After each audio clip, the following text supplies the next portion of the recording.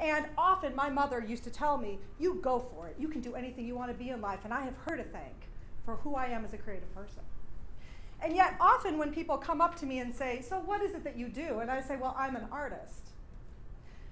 I always have this tightness in my chest because I know what's coming next, right? We all do. So, what exactly is it that you do? and it really disturbs me because I don't know how to answer it except to start with what it is that I know to show them that I can do.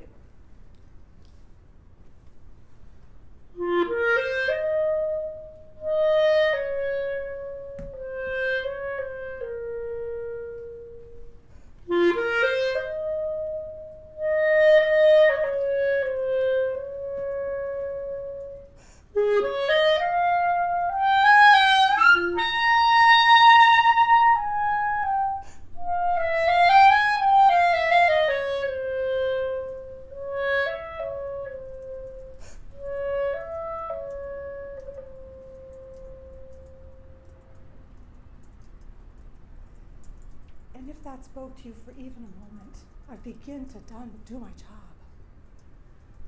But the problem is that it's always not at me because it doesn't feel like it's enough. It doesn't feel deep enough. It doesn't feel like when you leave this room, you're going to remember this for more than five minutes. And to me, it feels like you need to remember it forever and that I need to open your hearts and minds forever because I think that's what an artist is supposed to do. But what exactly is a 21st century artist supposed to do? And I've thought about this for a long time. And for me to be able to talk about it, I need to go back to the beginning. Because we were all here born in the 20th century, weren't we? And in the beginning of the 21st century, we have the automobile industry to thank for how we began. It was the old car company that created the assembly line. And it was the Model T and Henry Ford that created mass production. And for mass production, we went into interchangeable parts. We're all cogs in a wheel, right? Any one of us can be replaced at any one time because after all, standardization was part of what the 20th century represented. And lo and behold, we had the Great Depression and two wars. And in the 50s, what happened? Disneyland! and Elvis gyrated on the Ed Sullivan Show. And Dr. Seuss exploded with Cat in the Hat in the 50s. And we had our first Peanuts cartoon strip. And in 1964, I was born, and they say that if you remember the 60s, you weren't there. well, I was only six by the end of it. But what happened, and I remember this because my father started talking to me about this in the 70s because he was a diehard Democrat. And he, he quoted John F. Kennedy, and he used to say, Lisa, art is the, is the root of all culture. And society has to free you, Lisa, to do whatever you want to do with your vision. And I was like, rock on, wow, that's really cool. Except there was all this standardization coming around me. The invention of the Ethernet and the internet and the personal computer. And then in 1981, I think the groundbreaking book, E Myth by Michael Gerber, that said standardization is the future of business and the future of our world. And I thought, oh my God, I am in deep trouble because that isn't at all who I am. I'm like those buttons on that slide. I'm unique. Everyone around me I want to have be unique. I want to be that odd thing. I don't want to be in a box. And the truth of the matter is that I looked around me and I thought, everyone I know has told me that I'm naive and foolish and stupid for pursuing my creativity. I could have been a lawyer, I could have been a doctor, I could have, should have been an accountant. Haven't we all been told that over and over and over again about how smart we are and how stupid we are for pursuing something we love to do? And yet, it's kind of hard not to feel stupid when the most creative person you know is your mother, who walked the runway at a size zero and looked like Audrey Hepburn and who went from there to being Miss Candy, and who went from there to being a mom, and who went from there to not knowing what the hell she was supposed to do because there wasn't anywhere for her to go. So she became a cook. And her, her cookbooks amassed the, the walls of my house and were ladled with stains of butter and sauce and tomato sauce. And I devoured Behrman scale books while she did it. And then pretty soon, the alcohol turned up next to the nutmeg and she became an alcoholic because in the end of the day, she had no rudder. She had nowhere to take her creativity, nowhere to place it. My mother taught me a lot about what it means to be creative and a lot about what to do and what not to do. And the truth of the matter is that we have a problem with society because society sees us as visionaries and rebels and outsiders, and they look to us for their respite and their safe haven. In 1984, I remember being really proud because Amadeus came out and Tom Hulce played, played Mozart. I was like, the Mozart Clarinet Concerto, great piece, right? And here he is, womanizing and flandering around and paying no attention whatsoever. He looked like a buffoon. And on his deathbed, he's writing so that perhaps he can get a few dollars for his family. Oh, yes, the starving artist myth is well alive in society. It's their respite. That's how they see us. And let's look at the statistics. Seven out of 10 artists have to have another job. Six out of 10 make less than $40,000 a year. Oh, and did I mention that 33% out of 2.1 million artists make less than 20,000? Think we got a problem?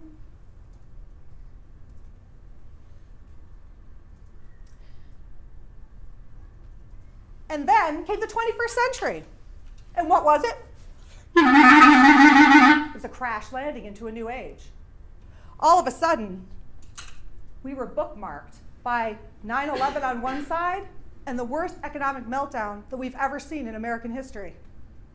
And this is supposed to be the new creative economy. Welcome, ladies and gentlemen. Aren't you glad you arrived? You can call those years our lost years, the decade from hell, or the deconstruction of the American dream. I don't care which word you use. It was a mess. And I can't think of anyone better to have really clearly exemplified and explained it to us than the painter Thomas Cole, who in 1833 put together The Course of Empire. And he was inspired by Byron Childs, who, who wrote, um, it was called Harold's Pilgrimage in 1812 through 1818. And I think it's so incredibly fitting, and I think it explains the whole story. There is the tale of all there is the, there is, there is the moral of all human tales. Tis but the same rehearsal of the past. First freedom, then glory. When that fails, wealth, vice, corruption, barbarism at last. And history with all her volumes vast hath but one page. Where do you think we've been? Do you think that maybe, just maybe, with the annihilation of bin Laden that the barba barbarism phase is over? And if so, are we ready to embrace the creative age?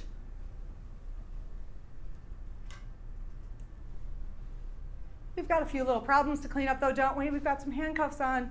What are those handcuffs? Well, if art is the root of all culture, then where exactly were the arts when we had before 9 11? How did we stop that from happening? And if art is the root of all culture, where were we before WorldCom or Enron? And if art is the root of all culture, what about global warming? And what about prisoner number 617-27054, Bernie Madoff, who sits rotting in, in, in, North Carolina in prison, having committed the biggest Ponzi scheme in history, $51 billion of Ponzi scheme that brought America down to its knees. Well, do you know as a group how much of a labor force we represent? 70 billion. But yet we're hardly noticed. What would happen if we just disappeared? Do you think anyone would get it? And what about the fact that we need to clean up our act? What about the fact that there is no room for rudderless artists? That there is no excuse for dysfunction and to falling into the abyss? And what about the fact that we can't put our artwork on sale for half price? Because if we sell out and we say to ourselves that opening people's hearts and minds isn't why we're here, and we say we can just discount that ticket price to be able to get it to do whatever it's supposed to do, what do you think people really feel out there? Do you think they're really getting what it is we're supposed to really be delivering? I don't think so.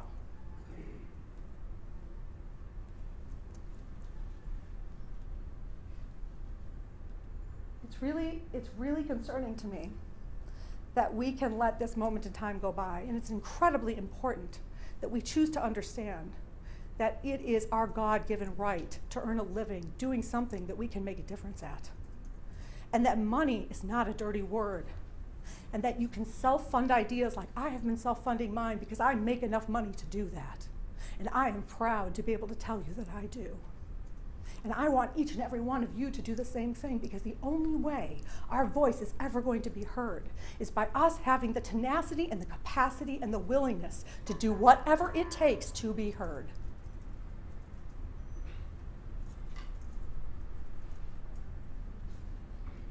So, what does it mean to be a 21st century artist? I think that Seth Godin in Linchpin got it right. I think that Jonathan Ive, who created the iPod, is just as much of an artist as Charlie Chaplin. I don't think it has anything to do with the tool. I don't think that my clarinet is symbolic of my artistry. I think it's the hammer. And you know what else I got in my toolbox? I got nails, I got a saw, I got a drill, I got drywall, I got all kinds of tools because it takes more than one tool to accomplish the job. You can't build a house with a hammer. And when we talk about innovation, I think we need to go back and think about what we're really talking about. Innovation isn't just about shiny new objects. It's about embedding a value system that has meaning into our society by making sure that the things we're inventing and the way we're embedding them changes the face of who we are. That's what we're supposed to do. That's what the arts represents and what the magic and power it really truly holds.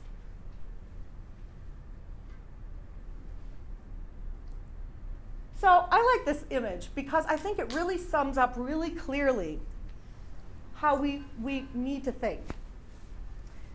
Put oil and vinegar together, what happens? They separate. They're two immiscible substances that don't have an easy time coming together.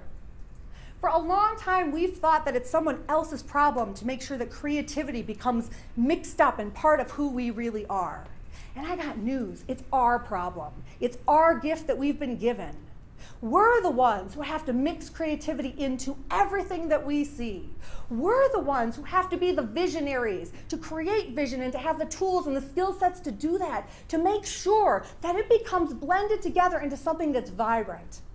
And when I think about doing that, I think that art has to be embedded into business. Every business needs to have a resident artist, artist to work on empathy, to work on um, professionalism, to work on an ethical standard that we can bind ourselves to so that we don't have Enrons and WorldComs.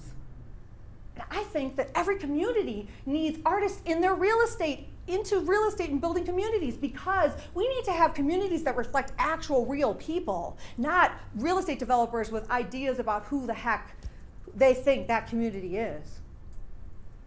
And I think that we need to have the arts in cultural diplomacy and national security initiatives. Because the truth of the matter is, it's really hard to hate somebody when you know their family heritage and you know their songs and you know their, their, their standards and their traditions. It's a lot easier to begin a dialogue. And from there, we can start to do business with them. And from doing business with them, we can actually change the world. These are the roles of arts that require mixing things up. And I'm here to ask you to understand that the only way you're ever going to have something that's edible to eat, something that truly will be meaningful to the world, is by shaking it all up. It has to be in every sector and every strand, and each of you embodies a vision of what it can be. Each of you knows something that only you can do because uniquely you isn't systematizable. And our world is so incredibly hungry for that kind of knowledge. And in the end of the day, when we are facing a creativity crisis, since 1958, Ellis Torrance has been creating a test to measure adult creativity in children. Since 1993, two years after the World Wide Web was created, it's been in decline. Every single year, creativity has declined. What are we doing sitting on all this creative capital?